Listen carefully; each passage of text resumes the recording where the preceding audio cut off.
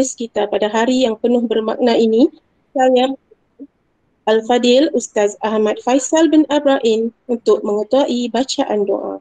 Dipersilakan. Assalamualaikum warahmatullahi wabarakatuh dan selamat pagi. Ila hadratin Nabi Mustafa Rasulullah sallallahu alaihi wasallam Al-Fatihah. A'udzu billahi minasyaitonir rajim. Bismillahirrahmanirrahim.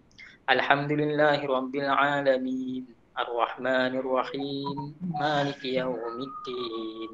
إياك نعبد وإياك نستعين اهدنا الصراط المستقيم صراط الذين أنعمت عليهم غير المغضوب عليهم ولا الضالين أعوذ بالله من الشيطان الرجيم بسم الله الرحمن الرحيم Alhamdulillah Rabbil Alamin. Wassalatu wassalamu ala ashrafil anbiya'i wal mursalin Wa ala alihi wa sahbihi ajma'in. Ya Allah, Ya Tuhan kami Kami memanjatkan kesyukuran kepadamu Kerana mengizinkan kami untuk berada dalam majlis resensi buku Program Jalinan Antara Bangsa Antara SMK Sungkai Dengan SMA Negeri 2 Sumeneb Jawa Timur Indonesia. Ya Allah, Ya Karim Kekalkanlah hubungan dan jalinan kami ini jadikanlah hubungan ini sebagai wasilah kami untuk mencapai kejayaan dunia dan akhirat. Ya Allah, Ya Fa'alul lima yurid. Kami memohon kepadamu agar engkau berkati majlis ini dengan limpahan rahmat dan berkatmu. Semoga segala usaha kami dalam menjayakan majlis ini mendapat keredoan dan hidayahmu, Ya Allah. Ya Allah, Ya Karim, di saat ini kami ingin merafakkan tangan kehambaan demi mengharapkan ihsanmu agar engkau tanamkan kecintaan dalam diri kami dan juga anak murid kami supaya terus istiqamah untuk menimba ilmu yang sangat luas. Ya Allah, Engkau anugerahkanlah ilmu yang bermanfaat kepada kami semua dan mudahan dengannya kami mampu mengamalkan ilmumu ya Allah. Seterusnya dapat mendekatkan diri kepadamu ya Allah. Ya Allah, Ya Ghani Ya Hamid, wahai Tuhan kami yang maha melimpah kerahmatannya, kami pohonkan agar aktiviti-aktiviti yang terangkum dalam program ini mampu membibit rasa kecintaan kami dan anak-anak didik kami dalam mendalami ilmu-Mu ya Allah. Kami pohonkan agar program yang akan dijalankan ini akan menjadikan diri kami untuk lebih bersemangat menimba ilmu melalui amalan membaca seperti mana yang diperintahkan olehmu ya Allah. Ya Allah, ya mudabbiral amri, limpahilah hati kami dengan nur hidayahmu dan bantulah kami menjadi generasi yang mencintai agama kemudian menegakkan syariatnya. Generasi yang mencintai bangsa lalu memelihara kehormatannya. Generasi yang mencintai negara lalu mempertahankan kedaulatannya. Seterusnya, bantulah kami menjadi generasi yang cemerlang dunia dan akhirat ya Allah. Taqabbal minna du'aana innaka antas samiul alim wa tub alaina innaka antat tawwabur rahim wa akhiru da'wahum alhamdulillahi rabbil alamin. Taqabbal Allah minna wa min. Inna wa minkum taqabbal ya. Amin, amin ya rabbal alamin. Majlis merakamkan ucapan ribuan terima kasih kepada Al-Fadhil Ustaz Ahmad Faisal bin Arba'in atas bacaan doa itu tadi. Hadirin dan hadirat yang dikasihi sekalian, tujuan kita berhimpun pada pagi yang indah ini adalah untuk mendengar resensi buku daripada rakan-rakan guru SMK Sungkai. Dan yang paling istimewanya pada hari ini, kita juga akan mendengar resesi buku daripada sahabat serumpun kita dalam program Jalinan Antarabangsa antara SMK Sungai dan SMA Negeri 2 Sumeneb, Jawa Timur, Indonesia. Sidang hadirin sekalian, adat berbahasa menyampaikan pesan, adat majlis menyampaikan ucapan. Maka majlis dengan segala hormatnya mempersilakan yang berusaha Puan Haji Siti Khadijah binti Osman, Pengetua SMK Sungai untuk menyampaikan ucapan. Majlis dengan ta'zimnya mempersilakan. Bismillahirrahmanirrahim. Assalamualaikum warahmatullahi taala wabarakatuh. Selamat sejahtera, selamat pagi. Terima kasih pengacara majlis yang berbahagia para pembentang resensi buku pada pagi ini.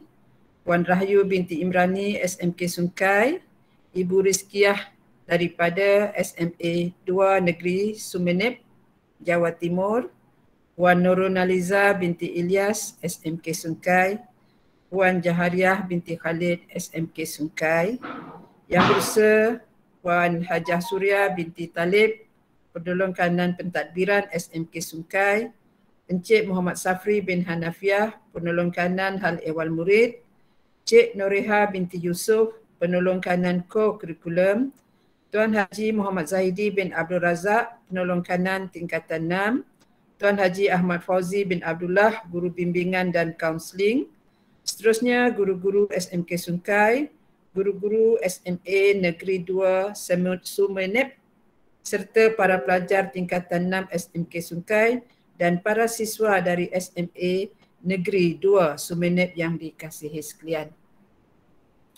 Terlebih dahulu uh, saya mengucapkan uh, terima kasih uh, di atas kesudian uh, SMA 2 uh, Sumeneb menerusi Ibu Rizkiah kerana sudi menerima uh, pelawaan kami, uh, undangan kami untuk turut serta uh, meng- menghadiri uh, aktiviti rutin mingguan kami iaitu resensi buku.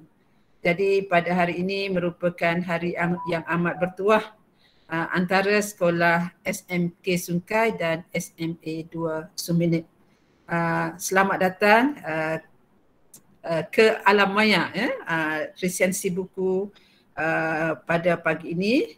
Uh, walaupun kita terpisah jauh oleh uh, lautan selat, selat Melaka, namun di dunia maya uh, berda, uh, meng, apa ni, melalui kemajuan digital kita dapat bertemu.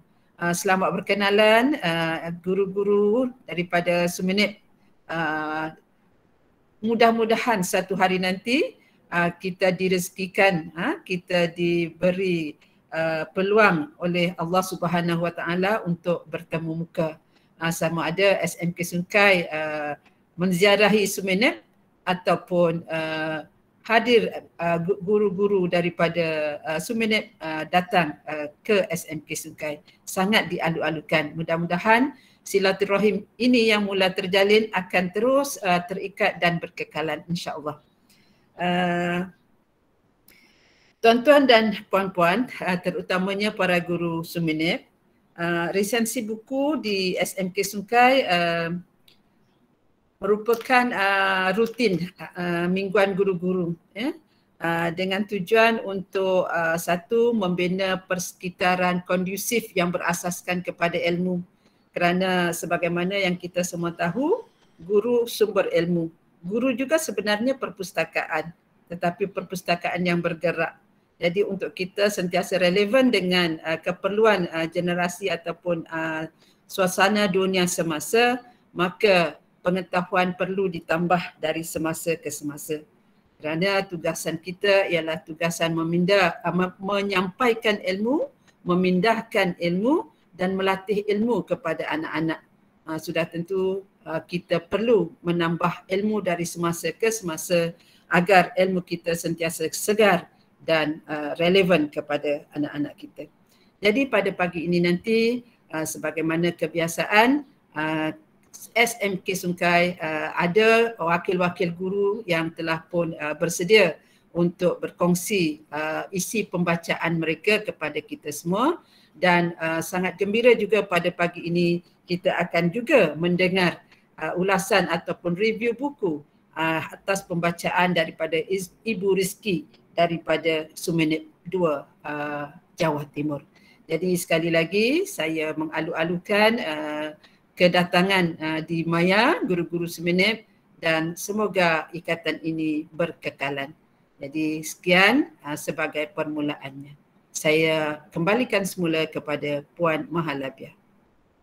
Majlis mengucapkan uh, jutaan terima kasih atas ucapan Puan Pengetua itu tadi. Para hadirin yang saya hormati sekalian, tanpa membuang masa, kita teruskan acara dengan mempersilakan pembentang pertama untuk menyampaikan resensi buku beliau. Beliau yang saya maksudkan ialah Puan Rahyu binti Imrani, seorang lulusan sarjana sains pengurusan daripada Universiti Utara Malaysia, sarjana muda pengurusan perniagaan antarabangsa dengan kepujian Universiti Utara Malaysia dan beliau merupakan guru perpustakaan dan media SMK Sungai. Puan Rahyu akan menyampaikan resesi buku pilihan beliau yang bertajuk Trend dan Isu Pendidikan Abad ke-21 uh, tulisan Profesor Madya Dr. Nur Azilawati binti Abdullah. Majlis dengan sukacitanya mempersilakan.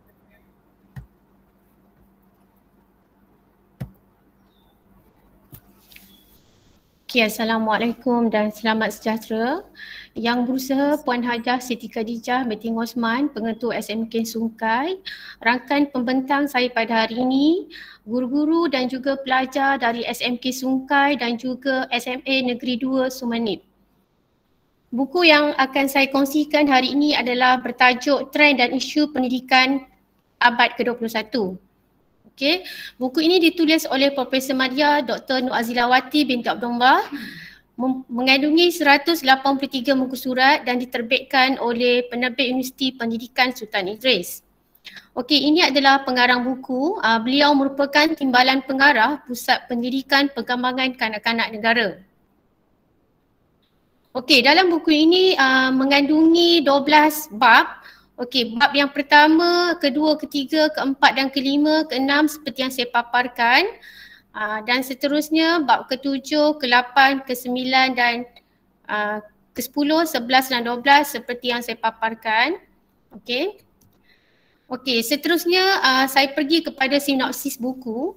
Okey, buku ini mengupas tentang trend dan isu yang berlaku dalam sistem pendidikan di Malaysia uh, trend dan isu yang dibincangkan adalah berdasarkan 11 anjakan yang terdapat dalam Pelan Pembangunan Pendidikan Malaysia 2013 hingga 2025. Uh, bab buku ni tadi ada 12 ya. 11 tadi adalah berdasarkan kepada 11 anjakan dalam PPPM dan satu tu adalah pembelajaran abad ke-21. Buku ini juga membincangkan bagaimana Kementerian Pendidikan Malaysia berusaha menyediakan kesamarataan akses pendidikan kepada semua. Selain itu ada juga isu bahasa yang mana membincangkan dan memberi cadangan bagaimana memastikan murid-murid di Malaysia dapat menguasai bahasa Melayu dan juga bahasa Inggeris dengan baik. Cabaran untuk melahirkan murid yang menghaiti nilai juga dikupas dalam buku ini. Seterusnya buku ini juga turut mengupas bagaimana KPM mentransformasikan profesion keguruan agar menjadi pilihan menjadi profesion pilihan. Selain itu, kepimpinan berprestasi tinggi ditempatkan di sekolah dengan bantuan dan sokongan KPM, JPN dan PPD. Okey, seterusnya turut dibincangkan dalam buku ini adalah berkaitan dengan ICT seperti mana yang kita ketahui uh, dalam era pandemik uh, COVID-19 ni ICT sangat diperlukan guru-guru dan juga pelajar seharusnya mempunyai kemahiran berkaitan dengan ICT. Selain daripada itu, buku ini juga mengupas bagaimana memaksimumkan keberhasilan murid bagi setiap ringgit yang telah dibelanjakan oleh kerajaan. Elemen kerjasama yang wujud antara sekolah, ibu bapa, komuniti dan sektor swasta turut dibincangkan. KPM juga uh, turut meningkatkan ketelusan dan accountability awam secara langsung dan di akhir bab ini penulis pengupas tentang pembelajaran abad ke-21. Okey, ada beberapa uh, tajuk yang ingin saya kongsikan pada hari ini. Okey, yang pertama adalah berkaitan dengan bagaimana Kementerian Pendidikan menyediakan kesamarataan akses kepada pendidikan berkualiti bertaraf antarabangsa. Seperti mana yang kita ketahui, Uh, setakat ini ada empat strategi yang KPN telah laksanakan untuk menyediakan keselamatan kesamarataan akses kepada pendidikan. Yang pertama adalah menanda aras tahap keberhasilan murid.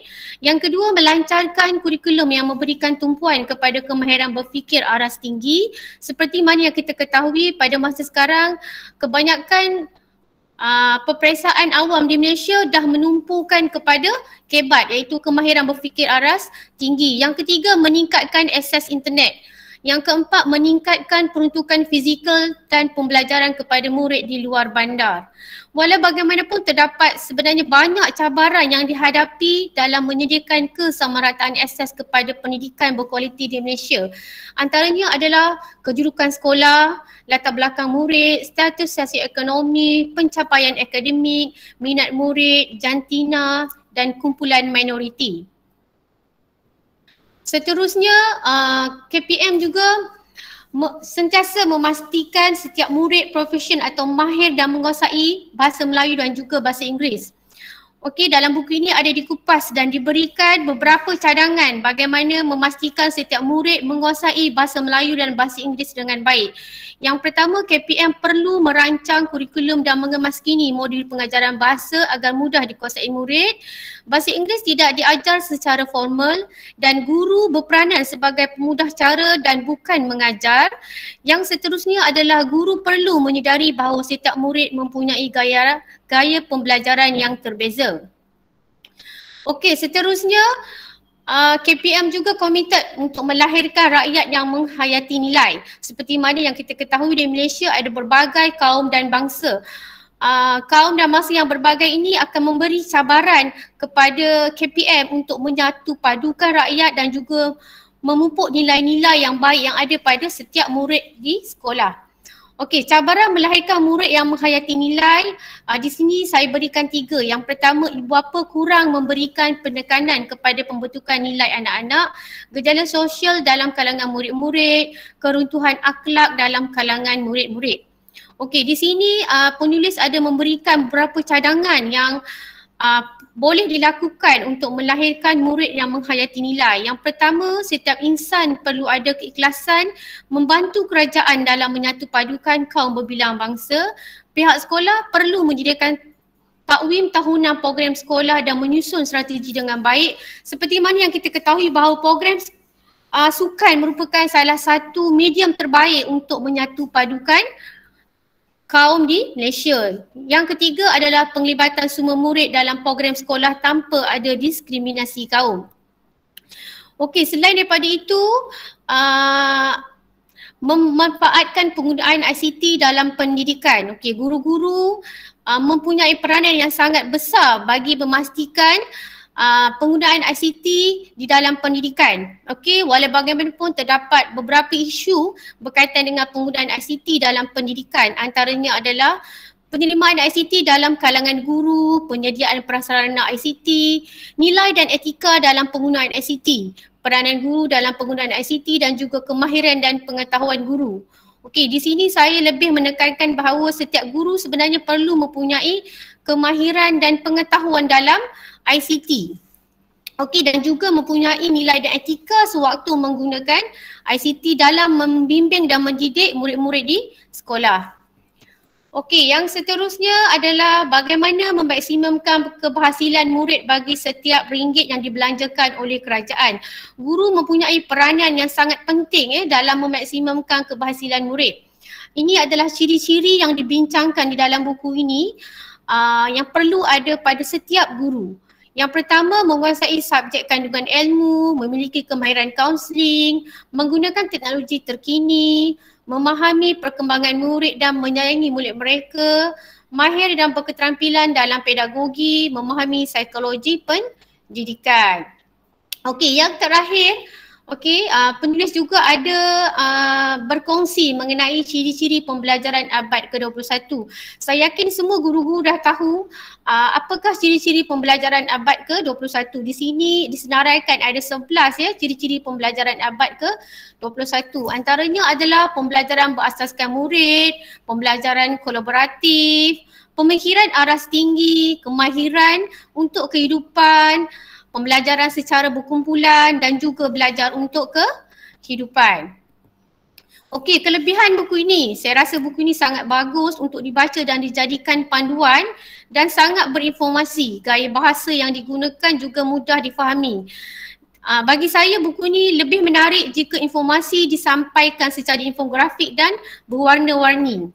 Okey, kesimpulannya untuk mencapai objektif yang terdapat dalam PPPM, semua pihak berkepentingan iaitu murid, guru, pemimpin sekolah, pegawai kementerian, ibu bapa, pihak komuniti dan swasta perlu berganding bahu. Guru perlu melihat keberhasilan diri sendiri dalam konteks global kerana anak murid yang dididik pada hari ini adalah kejayaan atau kegagalan modal insan yang akan dibentuk dalam PPPM nanti. Okey, sebelum saya mengakhiri resensi saya hari ini, suka saya kongsikan kata-kata yang diberi oleh Robert E. Liu. Pendidikan dari seorang manusia tidak pernah selesai sampai dia mati. Okey, sekian. Terima kasih.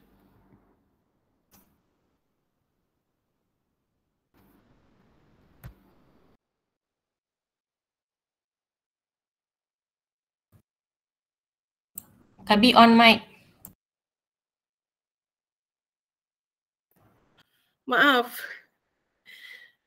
Terima kasih Puan Rahyu atas uh, resisi buku yang sangat menarik tadi dan buku ini saya kira bergenre non-fiction dan sangat uh, baik untuk kita guru-guru di Malaysia jadikan sebagai pegangan. Dan untuk uh, sahabat-sahabat guru dan uh, siswa di uh, SMA 2 Negeri Sumeneb uh, pasti telah mendapat gambaran, sedikit gambaran bagaimana uh, perjalanan uh, Uh, pendidikan di Malaysia terkini. Dan mungkin ada beberapa uh, akronim yang uh, mungkin agak sukar untuk dipahami kalau contohnya tadi uh, sahabat pembentang kita menyebut tentang KEBAT KEBAT tu uh, akronim bagi kemahiran berfikir aras tinggi atau mungkin lebih umum dikenal di biasa kita dengar sebagai high order thinking skills. Uh, itu yang sedang kita uh, pendidikan di Malaysia sekarang Okey, uh, sidang hadirin sekalian ya, tanpa membuang masa, seterusnya kita persilakan pula sahabat pendidik kita daripada negara seberang yang sangat dialu-alukan partisipasinya dalam program lisensi buku kali ini. Uh, beliau tidak lain dan tidak bukan ya, Ibu Rizkiah MPD, merupakan seorang lulusan Master of Arts Guidance and Counselling daripada Universitas Negeri Malang, sarjana psikologi pendidikan dan bimbingan dari IKIP Negeri Surabaya merupakan guru bimbingan dan kaunseling SMA Negeri 2 Semenep Jawa Timur. Dan untuk makluman semua juga, uh, Ibu Rizkiah merupakan uh, rakan sekuliah saya suatu masa dahulu. Ibu Rizkiah akan menyampaikan resisi buku pilihan beliau yang bertajuk 10 Ideas That Changed My Life, tulisan Umar Said Iqbal. Majlis dengan sukacitanya mempersilakan.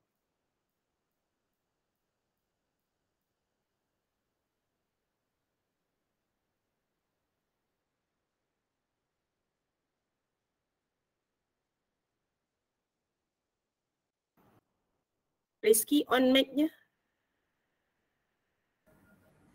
Assalamualaikum warahmatullahi wabarakatuh. Waalaikumsalam. Waalaikumsalam. Selamat pagi, selamat sejahtera untuk tuan dan puan cikgu di SMK SM Sekolah Menengah Kebangsaan Sungkai Perak Malaysia. Betul ya? Hah? Puan dan tuan? Salam kenal. Betul Rizky. Saya dari Indonesia. Dahulu saya merupakan teman, rekanan, dan sahabat eh, Cikgu Mahalabia binti Muhammad di IKIP Surabaya. Alhamdulillah saya amat berterima kasih kepada rekan-rekan guru di Sekolah Menengah Kebangsaan Sungkai karena saya telah diberi kesempatan pada pagi hari ini untuk saling membagi uh, tentang buku-buku yang sudah kami baca. Uh, para tuan dan puan di Malaysia, perkenankan hari ini saya akan membagikan tentang bacaan yang telah saya baca. Mengapa saya memilih uh, dengan tajuk ini? Karena kita sebagai pendidik dalam rangka memberikan pendidikan kepada para siswa kita, ini tidak terlepas dari bagaimana kita hadir sebagai pribadi yang memberikan contoh tauladan. Kita harus memberikan uh, model. Kita se harus sebagai model kepada para siswa kita. Bukan hanya sekedar menyajikan tentang ilmu pengetahuan saja, namun secara psikologis kita harus dapat menyentuh hati mereka.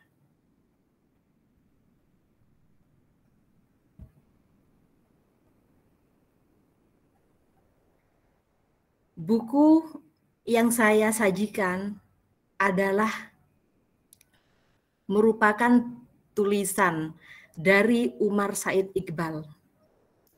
Ini adalah penting bagi kita karena kita perlu mengetahui 10 ide apa yang dapat mengubah hidup uh, dalam banyak orang.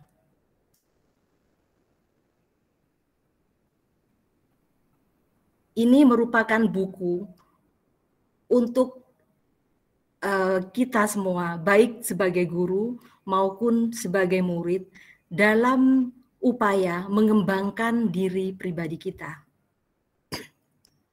Buku ini adalah edisi pertama.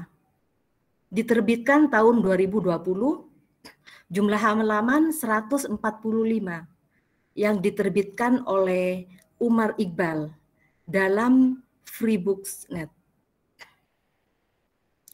Bapak, Ibu sekalian, Puan dan Tuan, penulis Umat Iqbal ini baru saja melesaikan Master of Degree bidang administrasi bisnis Universitas Pennsylvania dan Master Degree bidang administrasi publik di Harvard University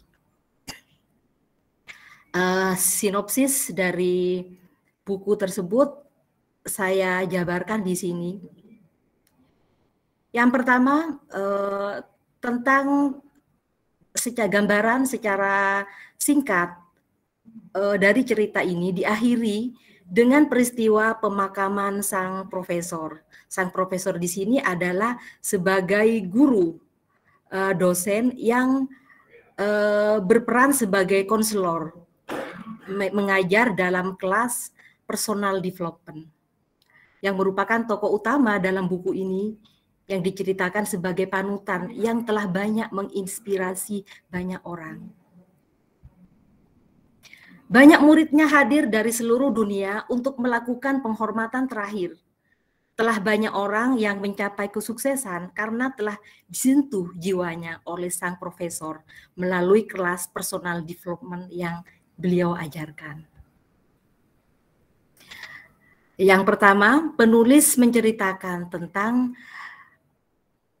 uh, suatu kejadian yang uh, merupakan kesempatan bagi uh, penulis bertemu dengan sang profesor tanpa diduga sebelumnya. Cerita ini bermula dari semester akhir perkuliahan seorang mahasiswa yang bernama Ali saat seluruh mata kuliah telah ditempuh, umumnya mahasiswa mengambil mata kuliah tambahan untuk mengisi waktu sampai kelulusan mereka. Sarah adalah teman Ali yang mengajaknya untuk mengikuti salah satu kuliah tambahan yang ditawarkan semester itu. Sarah mengatakan, ada kursus baru tentang personal development yang sangat aku suka. Ini pertama kali ditawarkan di sini sekarang. Dengan bersemangat, Sarah bercerita personal development, respon Ali dengan nada tidak tertarik dan ia teringat ayahnya yang tentunya tidak menyetujui ia ikut kursus semacam ini. Ayahnya berpikir itu percuma karena Ali telah cukup mencapai apa yang seharusnya ia dapat. Ali telah magang di sebuah perusahaan perawatan kesehatan kecil pada musim panas lalu dan mendapatkan tawaran pekerjaan yang menunggu setelah lulus dengan gaji lumayan ditambah dengan beberapa manfaat lain. Ayahnya benar-benar bahagia karenanya. Namun ada pertanyaan dalam hati Ali yang harus ia peroleh jawabannya. Apakah itu semua untuk dirinya? Apakah ia akan terus bekerja untuk sebuah perusahaan yang selama 30 tahun ke depan seperti yang telah ayahnya lakukan? Atau apakah mungkin ia akan memperoleh lebih banyak lagi? Sarah terus meyakinkan bahwa kelas itu penting untuknya dan Ali menjadi ikut tertarik karena Sarah telah menceritakan tentang siapa profesor itu. Walaupun mengajar di universitas yang tidak termasuk dalam ranking 500 besar, ia adalah lulusan Harvard dengan predikat cum laude. Apalagi yayasan didirikannya hingga saat ini telah membantu pendidikan jutaan anak putus sekolah. Ia dibesarkan di sini, kemudian pindah ke Washington karena orang tuanya meninggal dalam kecelakaan ketika ia berusia empat tahun. Lalu ia tinggal bersama kakek neneknya dan keluarga besarnya menyumbangkan biaya agar dia dapat melanjutkan pendidikannya. Tapi bukan itu saja. Saat usia 8 tahun, dia mengalami kekerasan seksual.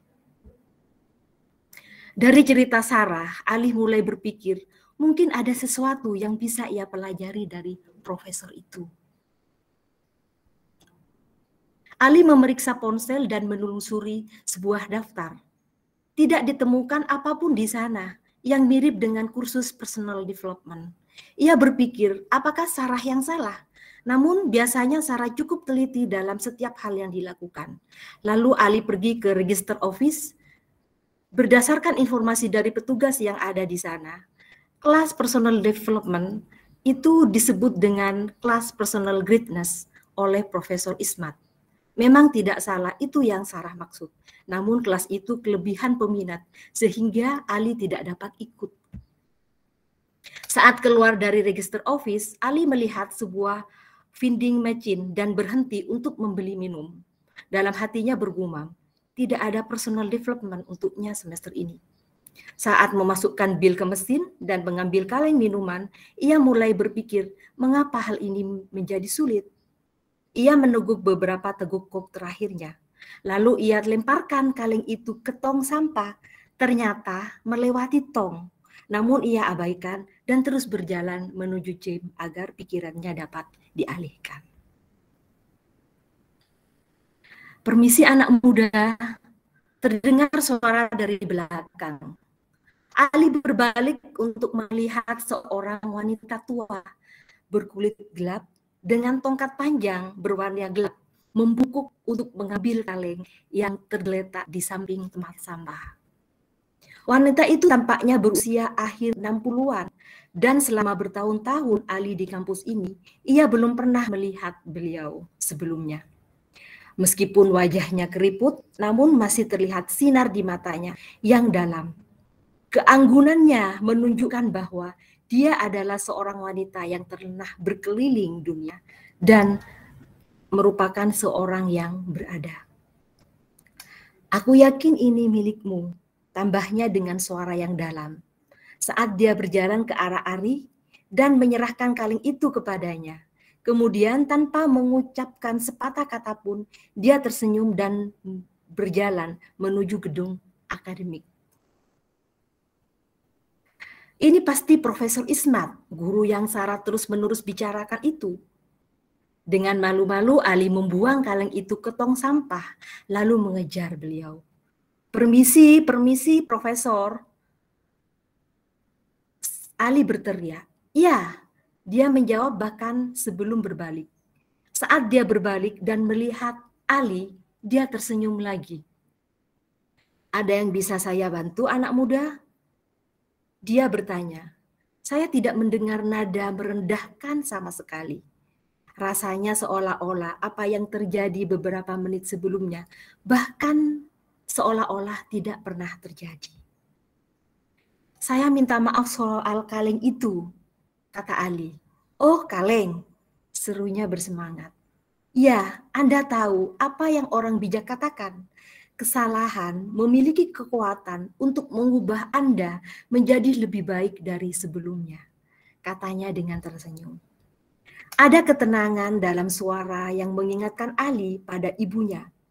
Kemudian dia mengulurkan tangannya dan meletakkan di, di bahu Ali yang tak pernah dilakukan oleh dosen lain. Tidak apa-apa, kita semua membuat kesalahan Lakukan yang lebih baik di lain waktu, katanya, sambil berbalik dan melangkah ke dalam kelas di sebelah kanan. Ali dapat mengintip ke dalam kelas itu dan melihat di dalam penuh sesak. Itu adalah kelas yang selama ini Ali cari, namun tidak mungkin untuk ia ikuti. Lihat, siapa di sini? Rupanya Sarah di situ. Oh, hai Sarah, sapa Ali. Aku tidak bisa ikut, kelasnya kelebihan peminat. Dan kamu tahu bukan, administrasi bersikeras tidak mau menambah orang lagi. Ali berkata dengan jengkel. Hmm, begini Ali, kamu tahu Sehriar dari gugus kita? Dia memintaku untuk menyediakan tempat duduk untuknya. Tapi dia tidak dapat menghadiri sesi hari ini karena dia kena flu. Dia bahkan tidak masuk di kelas akuntansi. Bagaimana kalau kamu pakai tempatnya untuk hari ini dan lihat bagaimana kelanjutannya? Sarah bertanya. Ah, benarkah? Ali tersenyum. Akhirnya ia merasa lega, setidaknya bisa melihat apa yang diributkan itu. Ia mulai merasakan jantungnya berdetak dengan kegembiraan karena ia akan memulai perjalanan bersama guru terhebat di dunia. Yang pertama, isi dari buku tersebut poin yang pertama adalah pelajaran tentang personal responsibility dalam pelajaran ini, profesor menggunakan kisah-kisah orang yang sukses, yang telah berjuang keras dalam menghadapi kesulitan dan penderitaan hidup. Kata-kata bijak yang digunakan secara garis besar memberi pesan bahwa setiap orang bertanggung jawab untuk berusaha mencapai kesuksesan dirinya. Pelajaran yang kedua adalah tentang personal greatness setiap manusia memiliki potensi kehebatan.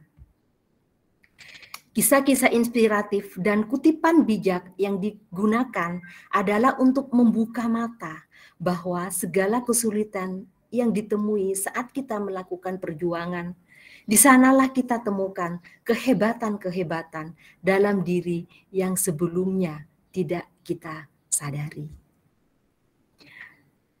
Pelajaran ketiga adalah belajar tentang fokus. Belajar untuk membedakan antara sesuatu yang dapat kita kendalikan dengan hal-hal yang tidak dapat dikendalikan. Dan mulai berfokus kepada bagaimana cara untuk mengendalikan. Hal-hal yang dapat dikendalikan secara penuh, seperti tujuan yang kita tetapkan untuk diri kita sendiri, nilai-nilai, karakter, dan pandangan diri kita. Hal-hal di luar kendali seperti kondisi alam merupakan hal-hal yang tidak mampu untuk kita kendalikan. Hal-hal di mana kita memiliki kendali, seperti memenangkan pertandingan atau mendapatkan pekerjaan yang didambakan. Dalam hal ini kita bisa menggunakan kontrol walau faktor eksternal dapat juga berperan di dalamnya. Belajar tentang pentingnya mengontrol self-talk. Dalam materi ketiga yang profesor sajikan adalah mengajarkan bagaimana mengontrol self-talk. Self-talk negatif menghalangi pencapaian tujuan. Self-talk positif membangun kepercayaan diri dan harga diri. Pelajaran keempat adalah pelajaran tentang keyakinan. Pelajaran untuk menanamkan keyakinan bahwa kita dapat melakukan apa pun yang ingin kita lakukan. Mengenali kekuatan kapasitas kita untuk bermimpi dan mencapai tujuan yang kita tetapkan untuk diri kita sendiri. Semua impian bisa menjadi kenyataan tetapi hanya jika memiliki keberanian untuk mengejarnya. Pelajaran kelima adalah tentang integritas dan karakter. Dalam pelajaran ini bertujuan untuk memahami pentingnya menjadi diri sendiri dan mengembangkan moral menentukan prinsip-prinsip atau nilai-nilai yang penting bagi kita. Mencoba menggunakan prinsip-prinsip itu dalam setiap percakapan yang kita lakukan dan setiap keputusan yang kita ambil. Menilai bagaimana penerapan prinsip tersebut dalam keseharian. Pelajaran keenam adalah pelajaran tentang ketekunan. Pelajaran tentang pentingnya ketekunan Ketekunan tidak dapat tergantikan. Ketekunan lebih penting dari bakat, lebih penting dari kejeniusan, lebih penting dari pendidikan. Ketekunan serta tekad adalah paling berkuasa. Dengan ketekunan yang cukup, banyak hal-hal yang semula tidak mungkin dapat menjadi mungkin. Belajar yang paling baik adalah melalui contoh dari kisah orang-orang yang tekun. Selanjutnya, pelajaran yang ketujuh adalah pelajaran tentang penetapan tujuan. Pelajaran tentang pentingnya penetapan tujuan. Perencanaan tujuan merupakan blueprint untuk merancang masa depan. Jika kita tahu ke mana tujuan kita, maka perjalanan akan lebih mudah. Jalan mana pun akan mengantar kita pada tujuan kita. Selanjutnya, pelajaran yang kedelapan adalah memperoleh pertemanan yang tepat sangat penting untuk memilih pertemanan yang tepat dalam bergaul. Kita adalah rata-rata dari lima orang yang paling banyak menghabiskan waktu bersama kita. Secara tidak sadar, kita melakukan kebiasaan dan perspektif mereka tentang kehidupan. Orang-orang di sekitar kita tanpa disadari mempengaruhi apa yang kita yakini tentang diri kita dan siapa kita nantinya.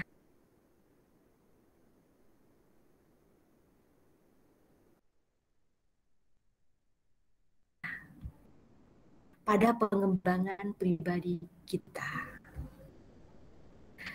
Pelajaran yang kesembilan adalah tentang kegagalan sementara. Pelajaran tentang kegagalan sementara berupa nasihat-nasihat jika sesuatu mudah, maka semua orang akan melakukannya. Kebiasaan baik yang kita kembangkan untuk diri sendiri hendaknya diikuti terus meskipun terasa buruk atau menjedihkan. Jangan berharap mudah, berharaplah lebih baik. Jangan berharap lebih sedikit masalah, berharaplah lebih banyak keterampilan. Jangan berharap lebih sedikit tantangan, berharaplah lebih banyak kebijakan. Semua pahlawan dalam hidup mereka telah gagal berulang kali. Satu-satunya perbedaan antara mereka dengan jutaan orang lainnya adalah bahwa pahlawan terus berjuang. Mereka tidak membiarkan kegagalan menghentikan mereka. Selanjutnya, pelajaran yang terakhir disajikan adalah merupakan nasihat-nasihat untuk memantapkan tekad dalam mengambil tindakan untuk mencapai tujuan.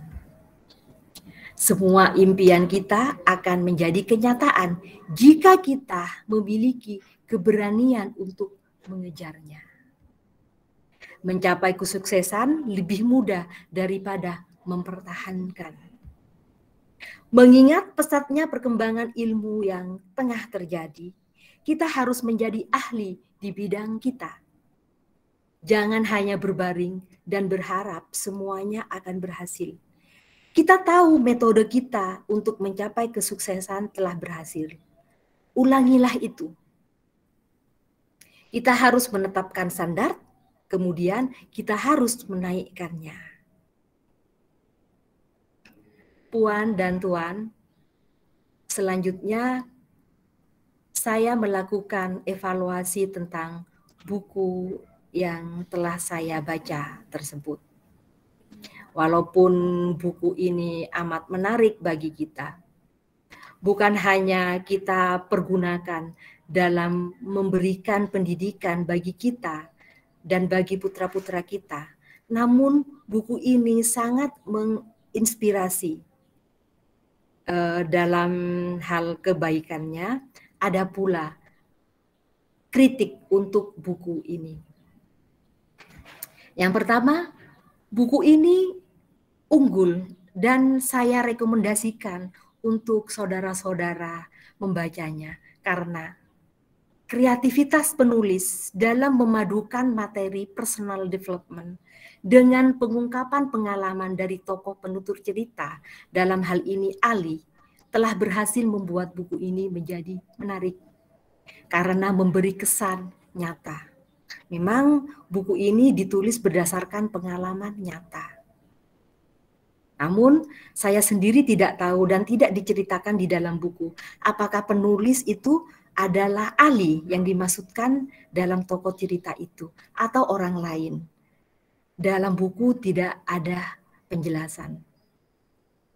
Kritik terhadap buku ini menurut saya dari 10 poin ide yang disajikan, belum semuanya direfleksikan dari pengalaman tokoh penutur cerita.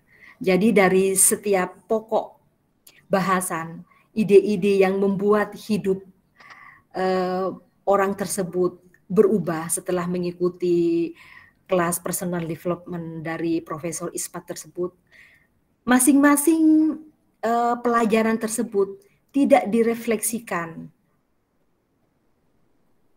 Ini yang merupakan kekurangannya.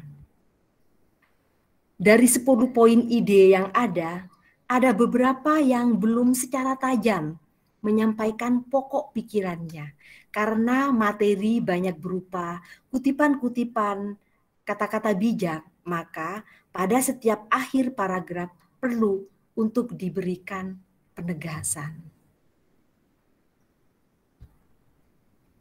Uh, sekian um, resensi buku yang telah saya berikan. Terima kasih atas waktu yang telah diberikan kepada saya. Assalamualaikum warahmatullahi wabarakatuh. Assalamualaikum warahmatullahi wabarakatuh. Terima kasih Ibu Rizkia atas resensi buku yang bagi saya sangat menarik.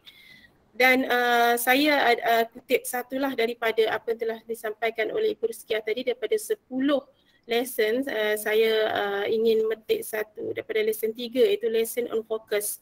Iaitu belajar untuk fokus pada hal-hal yang di dalam kendalian kita ataupun yang boleh kita kawal uh, dan uh, pentingnya self talk uh, dalam dunia uh, uh, perguruan yang serba mencabar sekarang ini kita tidak juga lari daripada uh, stres ya uh, dalam uh, menghadapi pelajar dan uh, menghadapi pekerjaan kita.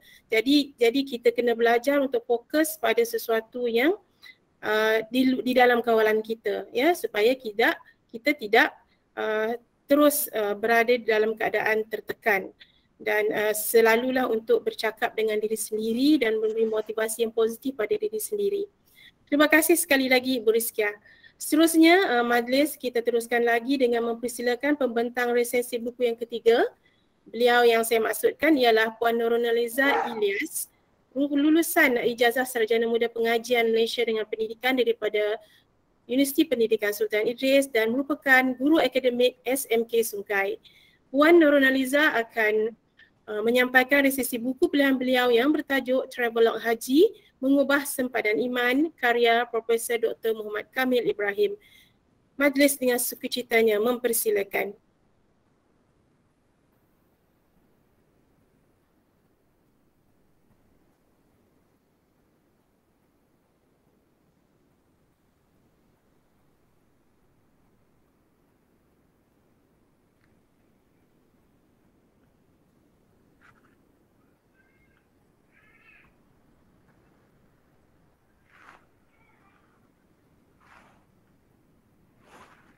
Bismillahirrahmanirrahim. Yang berusaha Hajar Siti Khadijah binti Osman. rakan-rakan pembentang resensi buku, pelajar-pelajar SMK Sungkai dan siswa uh, SMA Semenep. Assalamualaikum warahmatullahi wabarakatuh dan selamat sejahtera. Saya mau pergi ke sana Terima kasih ya. Okay. Uh, nampak tak saya punya paparan? Kak Bin nampak tak saya punya paparan? Nampak Ona, nampak Ona. Teruskan. Nampak ah. Sekejap. Hang pula sekejap eh. Saya nak tukar dalam bentuk slide PowerPoint. Allah Akbar. Okey. Okey, baiklah eh. Uh, saya mewakili eh uh, mewakili kumpulan pemikir 16 okey uh, akan menyampaikan eh, resensi buku okey pada pagi ini. Okey, ini ahli kumpulan saya. Okey, seterusnya okey.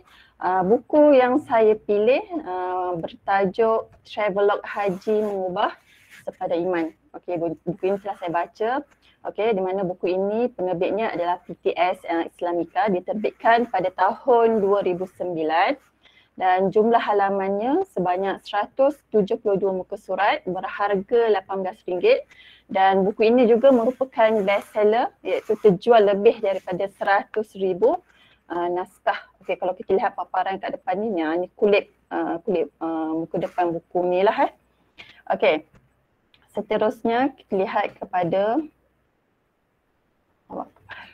Okey, sekejap eh. Okey, senarai kandungan. Okey, dalam buku ini, okey, mengandungi 49, okey, 49 bab uh, yang meliputi uh, kalau kita lihat di sini uh, merupakan peristiwa-peristiwa yang dilalui oleh uh, oleh penulis lah eh, uh, semasa mengerjakan uh, haji di uh, di tanah di tanah haram lah eh. Okey, uh, berikut ialah uh, biodata penulis. Okey, uh, penulis ini bernama Muhammad Kamil Ibrahim. Okey, dilahirkan di Besut Terengganu pada 19 Mei 1964.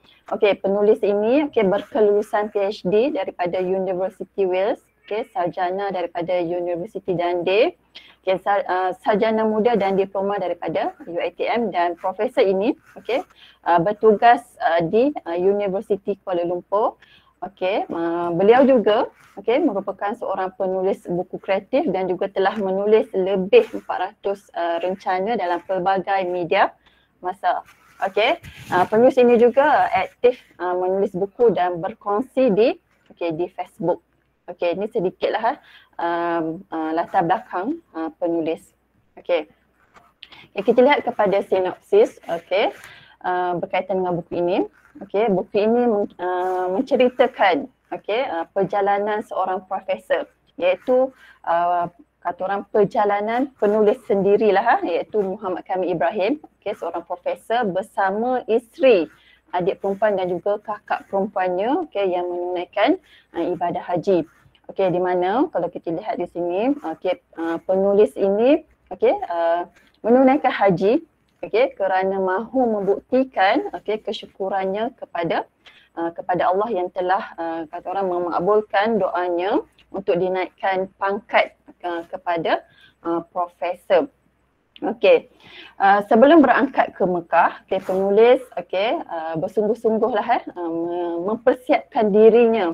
Okey, mempersiapkan dirinya untuk uh, untuk ke Mekah iaitu beliau melakukan amalan uh, qiyamul iaitu bangun malam untuk bertahajud, solat hajat eh selama kira-kira setahun okey semata-mata uh, supaya uh, dirinya diterima menjadi tetamu tetamu Allah.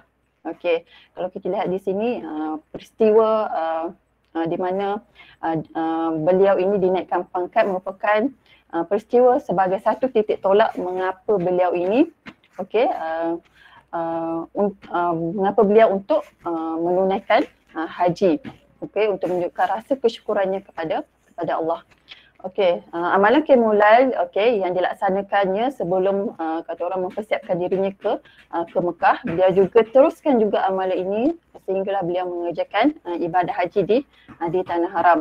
Okey, dalam buku ini juga okey penulis menceritakan okey uh, tentang pengalaman eh, pengalaman yang telah memberi impak yang besar kepada uh, dirinya serta beberapa orang, orang ahli ahli keluarganya ya, yang mengikutinya ke uh, ke tanah ke tanah haram.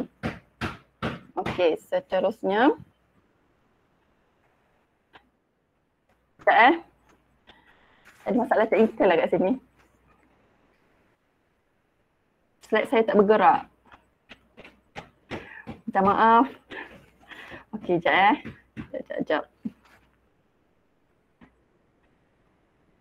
Minta maaf ya semuanya.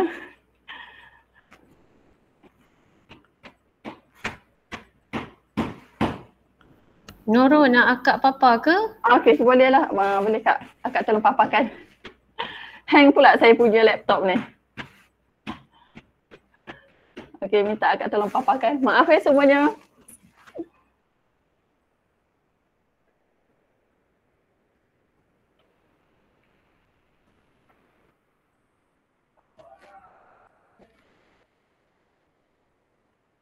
Kak Ayu.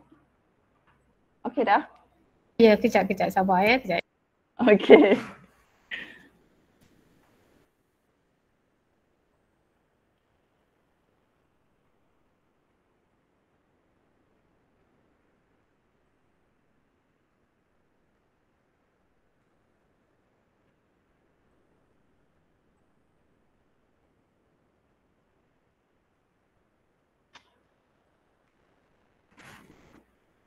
Okey.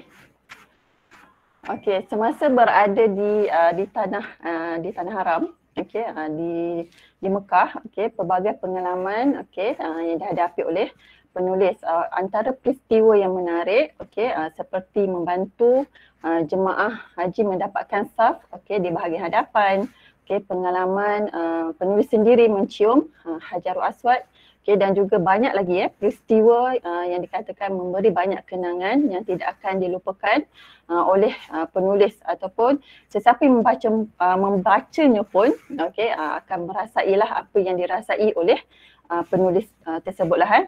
Okey, penulis juga okey menceritakan segala pengalaman okey mengenai apa yang ingin uh, beliau lakukan di uh, di Mekah dan juga beliau juga menceritakan uh, halangan-halangan uh, yang dihadapinya dan bagaimana dia menghadapi segala uh, halangan tersebutlah. Eh.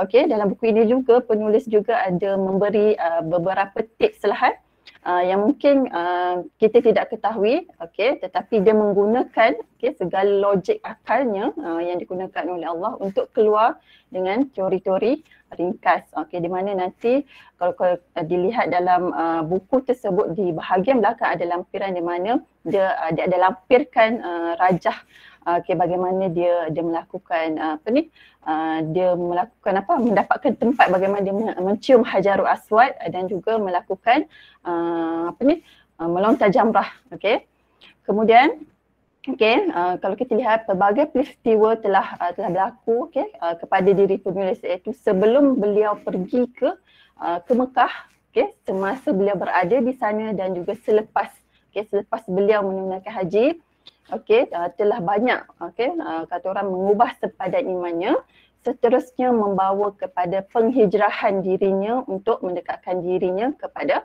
uh, Allah okay. Uh, uh, jika kita lihat dalam buku ini okay, beliau ada uh, menceritakan lahat uh, sedikit uh, berkaitan dengan sikap sikap buruk dia uh, sikap buruk seorang penulis uh, dan juga uh, dia juga uh, dikatakan uh, jahil bab bab agama dan di sana dia berjaya okey uh, khatam Al-Quran di di Masjidil Haram. Okey, kelebihan okey kelebihan buku ini okey uh, buku ini sesuailah untuk untuk dibaca oleh semua lapisan golongan masyarakat. Uh, disebabkan penulisannya adalah secara santai. Okey dan bahasa yang digunakan juga mudah uh, mudah difahami oleh pem, pembaca. Dan uh, menariknya okay, setiap bab eh uh, setiap akhir bab okey dalam buku ini penulis merumuskan nilai ataupun okey pengajaran yang diperolehi diri dirinya uh, okey boleh dijadikan sebagai peringatan eh, kepada kita dan juga uh, kepada diri ini sendirilah eh okey uh, kemudian buku ini juga sesuai untuk dibaca oleh uh, pelajar. Okay, kerana pengisian buku ini banyak membawa mesej yang positif uh, kepada uh, diri untuk berubah ke arah kebaikan. Dan saya kira buku ini juga sesuai untuk dibaca oleh uh, pelajar sekolah menengah khususnya saya rasa tingkatan lima kot. Okey yang kata orang yang, yang belajar berkaitan dengan bab haji dalam pendidikan Islam Okey.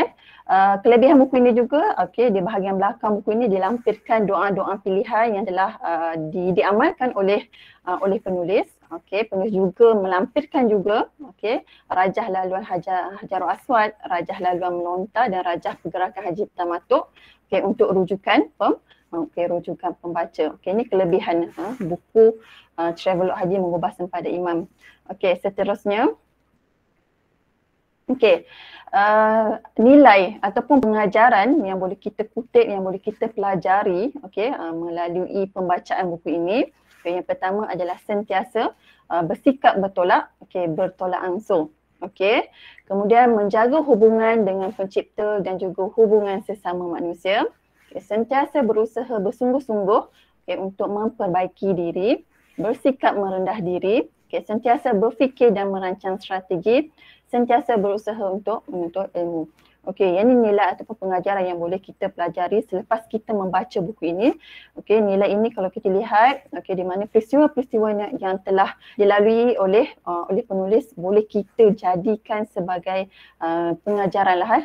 Okey, kita boleh aplikasikan nilai dan pengajaran ini okey uh, dalam uh, bidang profession kita sebagai seorang seorang guru dalam menghadapi uh, karenah okey uh, karenah uh, pelajar lah eh, di, di sekolah. Okey, seterusnya.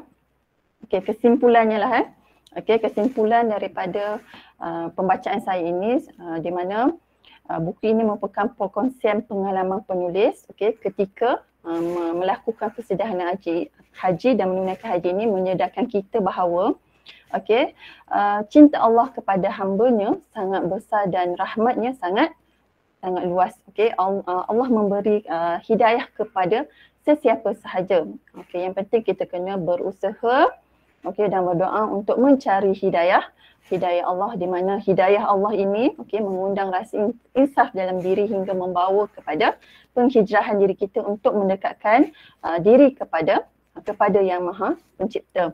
Okey, uh, buku uh, ini bukan hanya mengubah sempada iman pengarang okey kepada penulis tetapi uh, boleh juga mencetuskan satu keazaman kepada individu yang membacanya okey dalam mempertingkatkan keimanan khususnya untuk kita mendekatkan diri kita ke uh, kepada pada Allah. Okay, saya fikir buku ini sangat sesuai untuk dibaca oleh kita di mana uh, uh, penulis eh menggarap okay, ideanya menulisnya uh, secara santai sahaja. Kita boleh fahami seperti kita uh, menghayati seperti kita berada berada di tempat uh, beliau lah kan okey saya sarankan uh, kepada semua uh, yang ada dalam ni bolehlah uh, kata orang uh, mencari buku ini untuk kita baca sebagai uh, motivasi kepada diri kita dan juga kepada pengisian rohani rohani uh, diri kita sekian itu sahaja daripada uh, daripada saya. Sekian terima kasih. Assalamualaikum warahmatullahi wabarakatuh. Waalaikumsalam warahmatullahi taala wabarakatuh. Terima kasih uh, Puan Noronaliza atas uh, resensi buku yang uh, menjadikan kita uh,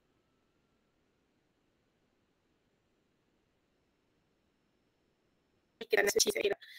Okey, uh, buku bukan buku travel yang biasa-biasa eh, kerana buku ini menceritakan apa yang perlu kita buat sebelum berangkat ke Tanah Suci uh, semasa Tanah Suci dan yang paling penting adalah cabaran sebenar uh, menunaikan haji itu adalah bila kita telah kembali ke tanah air apakah kita boleh istiqamah melakukan ibadah seperti kita berada di sana dan juga peri pentingnya doa sabar dan zikir dan hidayah juga merupakan sesuatu yang perlu kita jemput yang bukan kita tunggu ia datang kepada kita. Uh, terima kasih ya kepada semua yang bergabung hari ini. Dan kita teruskan lagi dengan uh, pembentangan resesi buku yang keempat bukan buku yang terakhir untuk hari ini. Saya persilakan Puan Zakariah binti Khalid. Ya Puan Zakariah merupakan lulusan ijazah sarjana bidang sains dengan pendidikan daripada Universiti Kebangsaan Malaysia dan merupakan guru akademik SMK Sungai Puan Zakariah akan menyampaikan resesi buku pilihan beliau yang bertajuk mudahnya menjemput rezeki karya Faturi Salehuddin. Majlis dengan sukacitanya mempersilakan.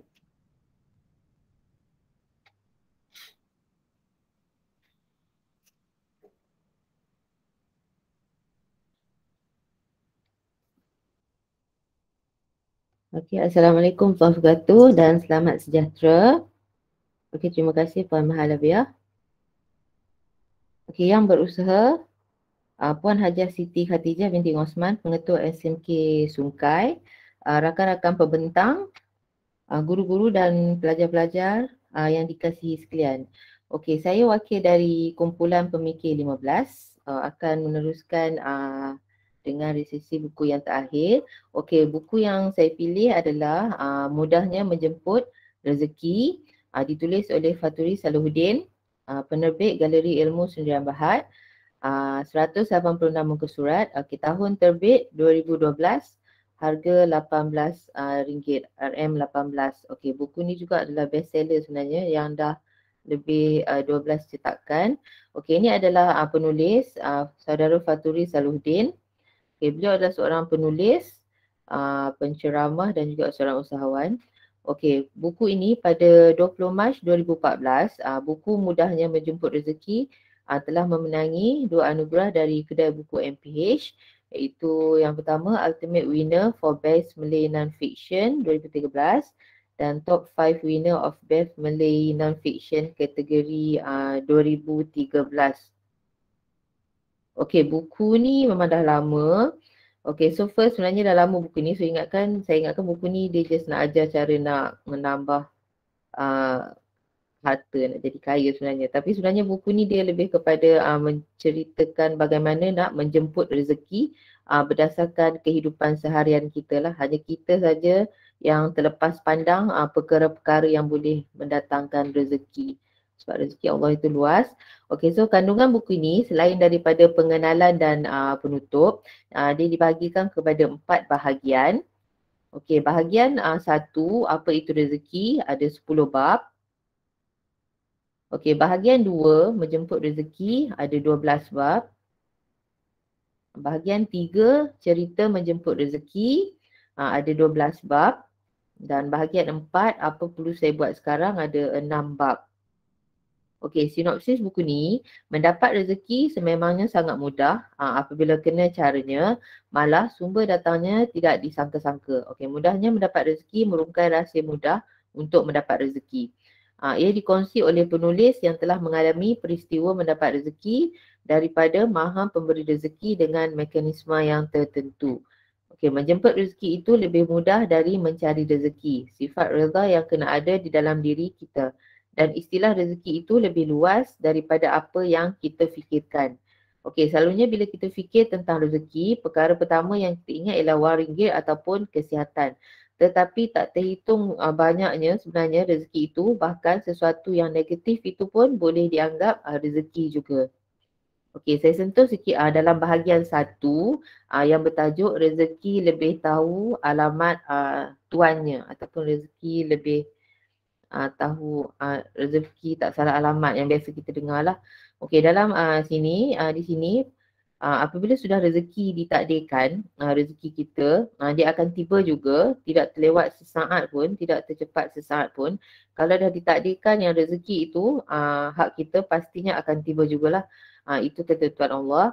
Okey, menurut uh, penulis, uh, rezeki adalah um, apa yang kita rasakan manfaatnya sama ada baik atau uh, buruk Uh, maksudnya dekat sini apa sahaja yang kita rasa manfaatnya ia adalah rezeki kita dan apa yang uh, tidak dapat kita ambil manfaat daripadanya bukanlah rezeki kita tetapi rezeki orang lain.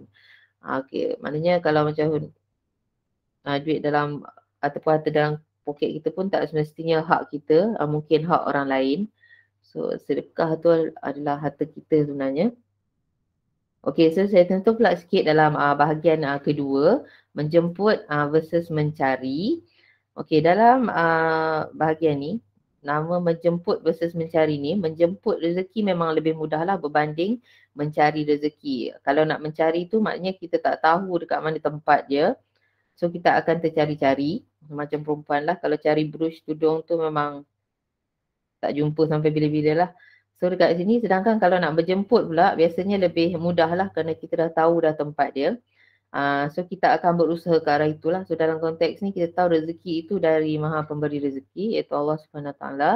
Uh, maka kita akan buat uh, apa yang Allah suruh lah, apa saja yang Allah suruh. Uh, Okey, dalam bahagian dua ni uh, penulis ada berkongsi uh, 11 langkah dan cara untuk menjemput rezeki. Okey, sebenarnya dalam ni dia lebih kepada um, bukan rahsia lah. Uh, dia lebih kepada 11 amalan yang memang kita semua dah tahulah. Okay, bukannya lagi rahsia lah. Cuma kita lah sebagai um, manusia ni kadang-kadang uh, tercuai dan terleka lah untuk buat amal-amalan tu. Okey, ini uh, uh, 11 uh, cara yang dikongsi oleh penulis. Okey, yang pertama mengutamakan solat. Okey, yang kedua solat tahajud. Yang ketiga solat duha. Okey, inilah yang selalu agak uh, dengan solat tahajud ni lah agak uh, cuai sikit. Okey, ada yang keempat zikrullah. Uh, yang kelima uh, doa. So doa adalah senjata orang mukmin. Uh, yang keenam uh, mendoakan orang lain. Uh, bila kita doakan orang lain, uh, malaikat pun akan uh, mendoakan kita. Yang ketujuh uh, sedekah. Okey, uh, maknanya kita kena yakinlah dengan bersedekah ni tak akan uh, mengurangkan harta kita lah.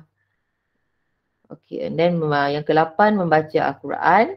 Uh, yang kesembilan Asmaul Husna uh, menyebut nama pemberi rezeki. Okey, bersyukur. Yang kesepuluh dan yang ke-11 adalah tekun uh, berusaha. Uh, maknanya kita berusaha lah bersungguh-sungguh uh, pasti akan uh, berjaya lah dengan izin Allah. Okey, kelebihan buku ni. Okey, buku ni memang sangat baiklah dan menarik dan mengingatkan kita tentang perkara-perkara sederhana yang kita ada. Okey, untuk bersyukur dengan apa yang telah kita usahakan atau terima. Okey, terdapat banyak petua rohani yang dikongsi dalam buku ni. Okey, banyak cerita-cerita dan pengalaman-pengalaman uh, yang menunjukkan uh, betapa perkara-perkara kecil saja boleh menjemput rezeki. Okey, bu, uh, buku ni juga boleh dijadikan uh, panduan lah sebab dia pun menjentik saya untuk lebih istiqomah lah dalam amalan uh, yang baik seharian. Okey, bahasa, uh, gaya bahasa yang digunakan santai dan mudah difahami. Dan kelebihan buku ni lagi terdapat petikan dari Al-Quran dan hadis diletakkan uh, di ruangan yang memang khas dan dibolkan uh, bagi memudahkan uh, pembaca untuk membuat rujukan. Okay, ini adalah kelebihan buku ni. Okey, uh, dan akhirnya sebagai kesimpulan, okey rezeki itu bukan semata-mata soal harta atau wang ringgit. Uh, boleh jadi rezeki itu hadir melalui kesihatan yang baik, keluarga dan anak-anak yang soleh tak ada anak pun rezeki, boleh ada anak kucing. Okey, kefahaman dalam ilmu atau kelapangan masa untuk banyak berbuat amal kebajikan yang lain. Okey, paling penting kekalkan hubungan baik selalu dengan Allah selaku maha pemberi rezeki. Uh, Ustaz terlalu sibuk dengan usaha mencari rezeki sehingga terlupa dari mana punca kuasa rezeki itu tiba. InsyaAllah rezeki Allah tidak akan pernah salah alamat dan setiap makhluk Allah sudah pun tersedia kantung rezeki masing-masing untuknya. Tinggal lagi kita bagi mencari dan menjemput rezeki itu untuk hadir ke dalam dakapan kita dengan sebaik-baik kehadiran. Okey, so itu sahaja uh, untuk saya hari ini yang saya resensikan buku bu, uh, Mudahnya Menjemput Rezeki. Saya rasa buku ni uh, bolehlah uh, yang belum ada tu bolehlah ada sebab dia lebih kepada nak uh, kadang-kadang kita cuai dan leka uh, sebab dia nak ingatkan kita untuk lebih istiqomah lah dalam uh, amalan seharian kita. Okey, itu saja daripada saya. Sekian, terima kasih.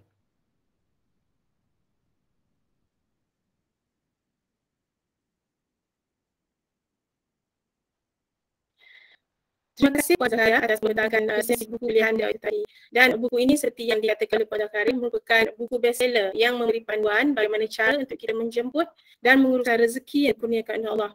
Untuk uh, makluman atau pengetahuan uh, rakan-rakan guru semua, jadi untuk uh, yang berminat untuk mendapatkan buku uh, apa ni buku yang telah dibentangkan tadi, uh, rakan-rakan semua boleh uh, untuk buku Para Hayu mungkin boleh dapat di uh, penerbitan UPSI. Untuk uh, buku Puan Ibu Rizkiah tadi adalah uh, boleh didapati di di uh, free ebooks net eh di Google dan untuk dua buku lagi itu boleh juga dicari di Shopee. Ada ada dijual di Shopee. Uh, seterusnya ya alhamdulillah ya selesai sudah pembentangan resensi buku kita pada kali ini.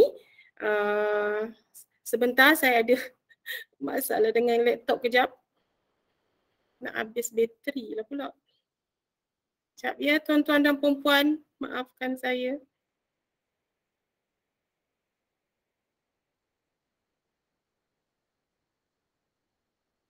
Okey. Uh, selesai sudah pembentangan uh,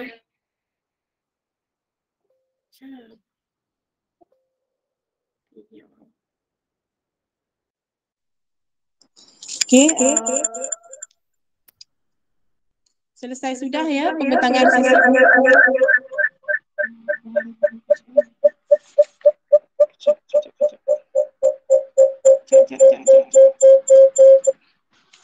Okey. Uh, selesai sudah pembentangan uh, buku oleh Puan Rahyu, Ibu Rizkiah dan Puan Nurulaliza dan Puan Zakariah itu tadi. Terima kasih diucapkan ke atas sesi buku yang sangat menarik dan membugarkan emosi juga minda kami semua. Uh, saya sendiri mengakui ya sekarang ini sangat uh, kurang membaca buku-buku fizikal ataupun uh, e-book ya bila ada acara sesi buku seperti ini sekurang-kurangnya ya secara tidak langsung dapat mengisi uh, kantong emosi dan spiritual saya dan saya rasa guru-guru atau rakan-rakan lain juga sama seperti saya yang dahagakan ilmu. InsyaAllah segala ilmu yang telah disampaikan dapat sama-sama kita amal dan kita sampaikan pula kepada orang lain untuk manfaat lebih ramai orang. Sidang hadirin yang saya hormati sekalian, ya, sekali lagi majlis mempersilakan Puan Haji Siti Khadijah binti Osman, Pengetua SMK Sungkai untuk menyampaikan ulasan beliau berkenaan resensi buku kita pada hari ini. Majlis dengan sukacitanya mempersilakan.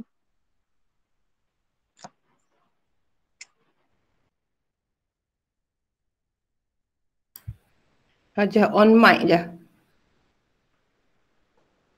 Hajah mic mic. Mic Hajah on. Okey. Itu selalu terlupa. Terima kasih dah. Terima kasih Puan Mahalabia. Sekali lagi setinggi-tinggi penghargaan dan terima kasih diucapkan kepada para pembentang pada pagi ini. Cikgu Rahayu, uh, Puan Rizki dan juga uh, Puan Nurul Naliza dan juga Puan Jahariah. Ya. Betul lah, benarlah ya. Uh, seperti yang dikatakan buku itu merupakan jendela dunia ya, yang menyimpan berbagai ilmu pengetahuan dan informasi. Jadi uh, semakin uh, lama kita menghadiri atau mengadakan uh, resensi buku ini uh, semakin kita merasakan memang ya uh, majlis ini sangat memberi manfaat uh, kepada kita yang mengikutinya ataupun yang mendengarnya dan pada pagi ini juga kita rasa sangat gembira eh, dapat mendengar uh, ulasan ataupun review buku daripada seberang eh, yang disampaikan oleh Ibu Rizki tadi. Ya. Jadi uh, sepanjang perjalanan uh, majlis ya, dua jam lebih ya, lebih kurang daripada lapan setengah tadi sekarang sudah uh, menghampiri pukul sepuluh. Uh, syukur Alhamdulillah ya, dalam dua jam itu kita telah selesai menghabiskan pembacaan sebanyak tiga buah buku melalui perkongsian. Ya. Mudah-mudahan uh, perkongsian ini uh, uh, memberi manfaat kepada kita semua untuk menjadi yang lebih baik daripada hari ini. Ya. Uh, esok yang lebih baik daripada hari ini dan hari ini yang lebih baik daripada semalam. Ya. Berdasarkan ula, uh, uh, perkongsian uh, buku daripada Cikgu Rahayu tadi, ya, uh, berkaitan dengan cabaran uh, yang dihadapi oleh pendidikan abad 21 di Malaysia ya, maka semakin jelaslah ya kita guru-guru semua ya akan peranan dan tanggungjawab kita ya yang perlu disesuaikan dengan cabaran ya. carilah ya carilah uh, strategi-strategi uh, yang boleh membantu kita melaksanakan tanggungjawab yang diamanahkan sebagai yang sebagaimana yang dikehendaki oleh Kementerian Pendidikan bagi menghasilkan generasi masa hadapan yang sesuai dengan cabaran abad ke-21. Seterusnya tadi bila kita uh, mendengar pula ulasan uh, sepuluh idea yang dapat mengubah kehidupan daripada uh, Puan Rizki ya. Uh, kita merasa benar-benar menghayati ya, isi kandungan buku itu. Walaupun kita uh, tidak lagi atau belum lagi membacanya ya. gaya penyampaian Ibu Rizki ya sangat menyentuh jiwa kita ya. Membawa emosi kita pemikiran kita hati nurani kita ya untuk ya sama-sama uh, uh, macam memahami, menghayati, merasai uh, apa yang disampaikan melalui uh, butiran bicara uh, perkataan-perkataan yang dilontarkan oleh Ibu Rahayu Ibu Rizki tadi ya. Uh, dan uh, kita nampak ya uh, bahawa sebenarnya uh, apapun ilmu yang kita baca ya sebenarnya boleh digunakan uh, dalam sepanjang ataupun apa saja aspek kehidupan kita kerana matlamat kita dalam kehidupan ni tak ada yang lainnya sama saja iaitu untuk mencari keredaan Allah untuk kita kembali ke sana ke alam yang abadi ya. Jadi uh, saya sangat uh, uh, teruja ya mendengar uh, perkongsian-perkongsian daripada tuan-tuan uh, dan puan-puan pada pagi ini ya. Uh, contohnya ya saya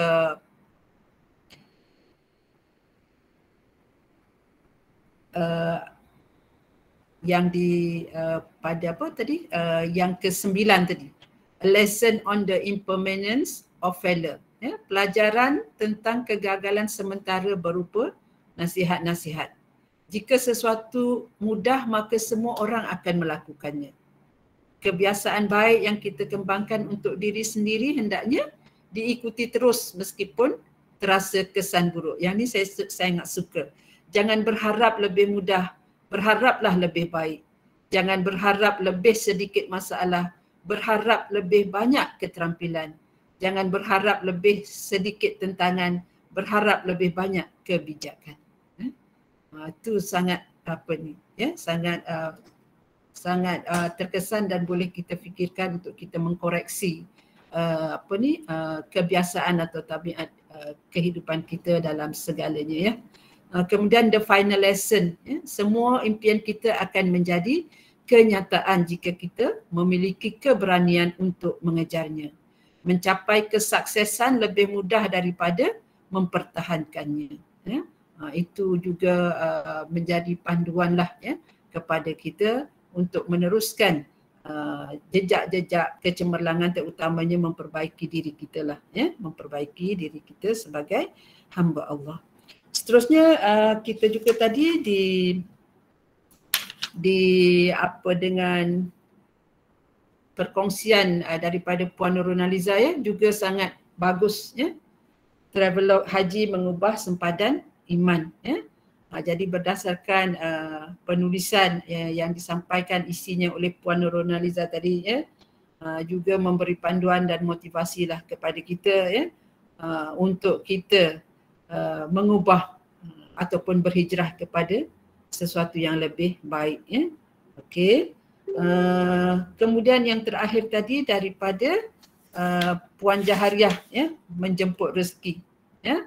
Uh, dan apa kita punya minda uh, dikembangkan lagi ya uh, kefahaman kita tentang rezeki dan bagaimana cara-cara menjemput rezeki. Yang paling penting ialah istiqamah dalam melakukan kebaikan dan mendekatkan diri kepada Allah Subhanahu Wa Taala. Jadi saya rasa ya uh, perkongsian pada pagi ini sangat bermakna bukan saja uh, se, uh, dalam arti kata kita sebagai guru tetapi lebih bermakna lagi jika kita meletakkan uh, apa ni perkongsian ini atas dasar uh, manusia yang ingin memperbaiki diri ya uh, sebagai hamba Allah yang ingin terus mencari redha Allah, kasih sayang Allah, keampunan Allah dan rahmat ya serta uh, pengakhiran hidup uh, yang dengan husnul khatimah. Okey, jadi saya rasa uh, itu sajalah ya sedikit sebanyak ulasan yang saya boleh berikan pada pagi ini. Sekali lagi saya mengucapkan setinggi-tinggi penghargaan dan terima kasih kepada rakan-rakan daripada SMA 2 Semenap Jawa Timur Indonesia, Ibu Rizki dan guru-guru serta anak-anak uh, dari sana ya. Mudah-mudahan satu hari nanti kita boleh bersua Uh, terima kasih kepada uh, uh, penganjur PSS ya. Terima kasih kepada para pembentang dan terima kasih kepada semua guru-guru yang hadir pada sesi resensi buku kali ini. Uh, sekian. Assalamualaikum warahmatullahi taala wabarakatuh. Terima kasih atas ulasan yang secara tidak langsung ya telah merangkumi isi keempat-empat buah buku yang dibentang itu tadi. Terima kasih Puan Hajah. Ulasan yang sangat bermakna juga bagi kami. Okey, seterusnya hadirin dan hadirat yang dirahmati Allah sekalian, uh, kita uh, sudah berada di hujung acara ya. Tuan Putri tersenyum-senyum melihat mempelai renjis di kilis. Senyum-senyum, jangan tak senyum kita sudah di penghujung majlis. Semua semoga program hari ini ya uh, dapat mencapai matlamat dan objektif yang telah ditetapkan iaitu meningkatkan ilmu serta tahap profesionalisme guru melalui perkongsian bahan bacaan. Saya mewakili jawatan kuasa program jalinan antarabangsa antara SMK Sungkai dan SMA Negeri 2 Sumeneb ingin mengucapkan rasa syukur dan terima kasih kepada semua pihak yang terlibat dalam menjayakan program hari ini khasnya jemputan kita, Ibu Rizkiah, guru-guru dan para siswa dari SMA Negeri 2 Semenep. Semoga kita dapat bekerjasama lagi di lain waktu. Banyak keluk-keluk, banyak keluk ke penari, keluk tumbuh pohonku ini. Nan elok bawalah balik, nan tak elok tinggallah di sini. Pergi ke dusun memetik kelapa-kelapa muda si kelapa balik. Jari disusun, maaf dipinta, panjang usia bersua kembali saya memohon jutaan kemaafan di atas uh, uh, masalah-masalah teknikal yang berlaku sepanjang program kita pada pagi ini. Sekian, wabillahi taufik wal hidayah. Wassalamualaikum warahmatullahi taala wabarakatuh.